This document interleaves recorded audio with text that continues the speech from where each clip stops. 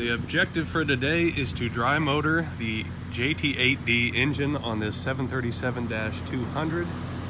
To do so, we need both pneumatic power because we're not using the APU, so we have our ground huffer unit or portable huffer right there. And we have ground power here as well. Um, I have hooked up the batteries for DC power in here. This is my Elcon connector. So we have two 24 volt batteries in here. So that is connected and then our ground power cart will supply us with AC power. So we'll go ahead and get that going.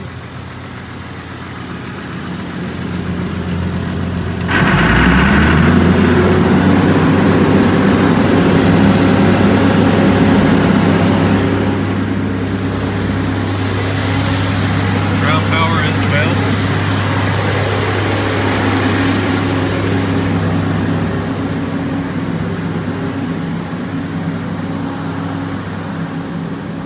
Now, before we start the huffer to apply pneumatic air to our system, we need to put on some hearing protection because this is extremely loud. I'll probably have to cut the video once this fires up uh, because it'll be louder than the audio is capable of handling. But before I do, I'll show you the process. We're going to start up this Detroit diesel, which powers this unit. Uh, give it a couple minutes to get some heat into it. Rev it up to 2300 RPMs and then switch our load switch over to jet start and that'll apply roughly 40 psi through the line to our uh, connection port on our right air cycle machine.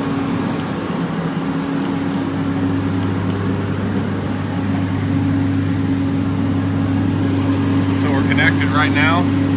This is the air cycle machine bay. Small hatch right in the front.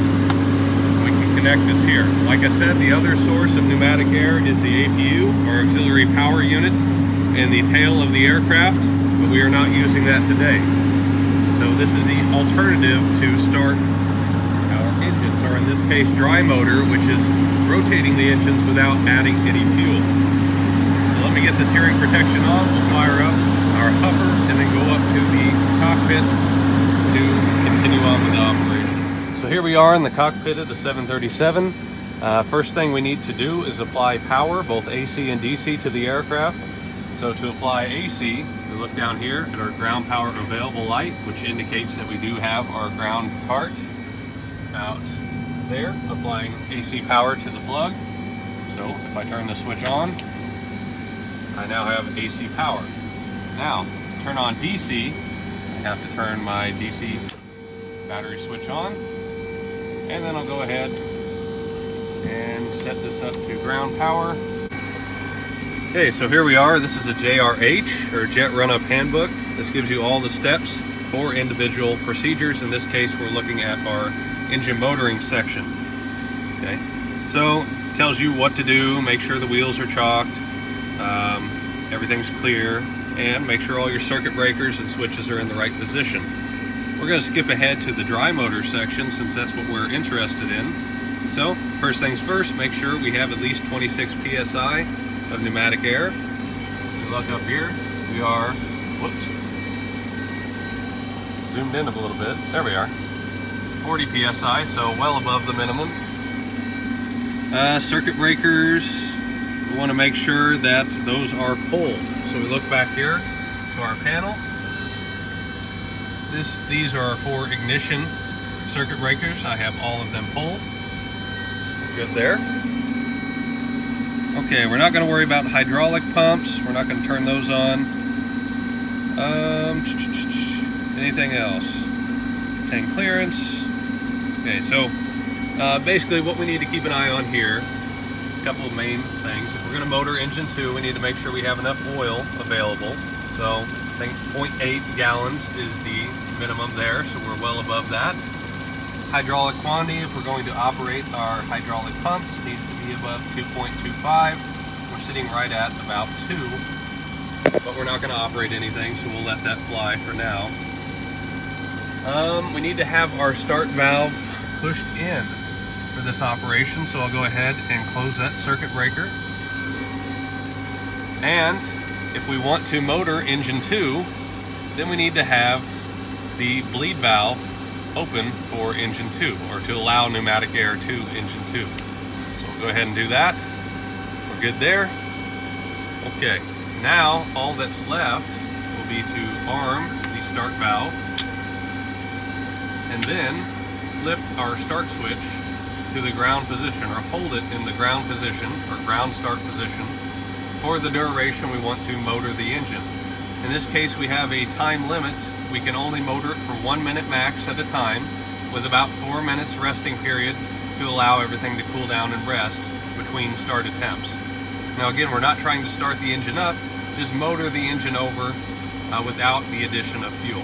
So uh, just to ensure that, our throttles are back in the idle position and our fuel is in cutoff and our boost pumps over here are off.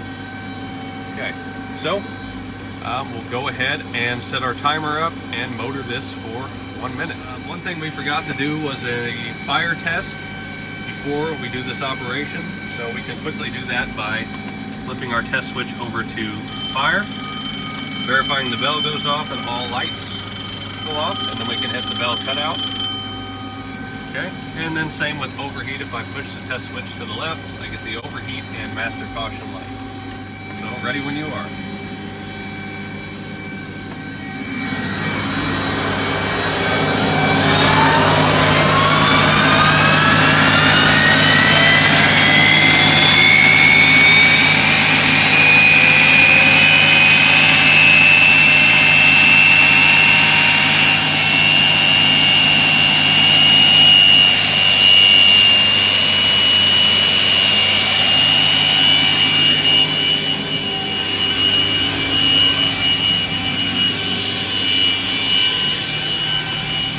see we're at about 10% RPM on engine 2.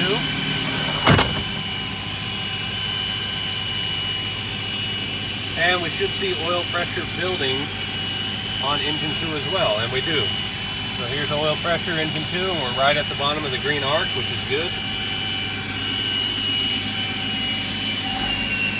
And our minute is up.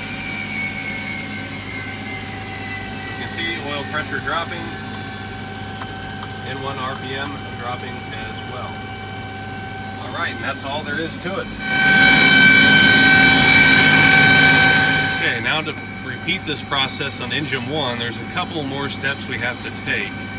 Uh, first of which is to close our bleed valve on engine two, open it on one, but since our pneumatic ground cart is connected on the right side of our system and we have an isolation valve in the middle, we need to make sure that that's open so that we're supplying air to both sides.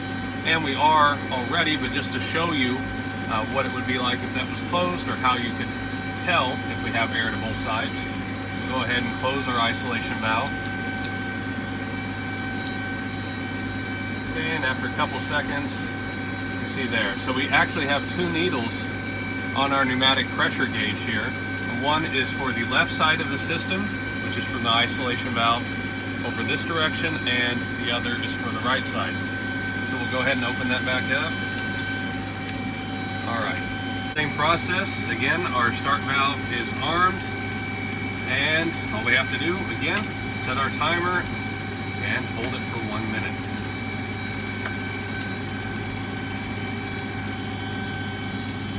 There she goes. We should be able to see RPM start increasing here.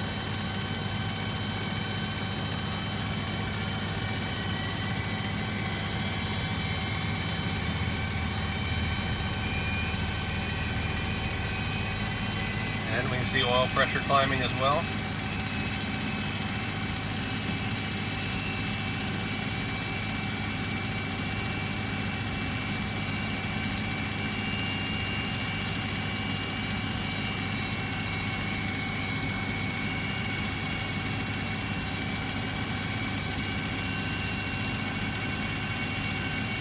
seems that this engine is not generating as much oil pressure as the other side, but seeing as we're only at 10% RPM, not too concerned.